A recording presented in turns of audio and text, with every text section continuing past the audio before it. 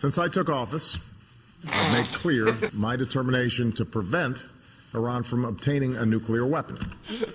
As I've said many times, my strong preference is to resolve this issue peacefully, and we've extended the hand of diplomacy. Yet, for many years, Iran's been unwilling to meet its obligations to the international community.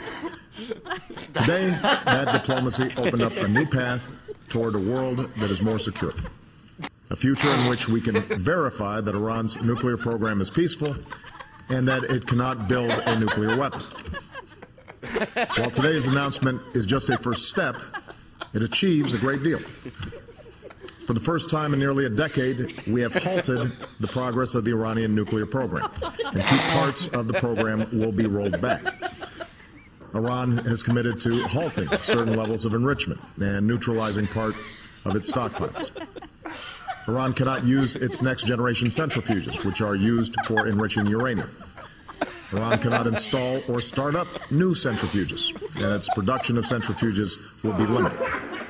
Iran will halt work at its plutonium reactor. And new inspections will provide extensive access to Iran's nuclear facilities and allow the international community to verify whether Iran is keeping its commitments. These are substantial limitations which will help prevent Iran from building a nuclear weapon. Simply put, they cut off Iran's most likely paths to a bomb.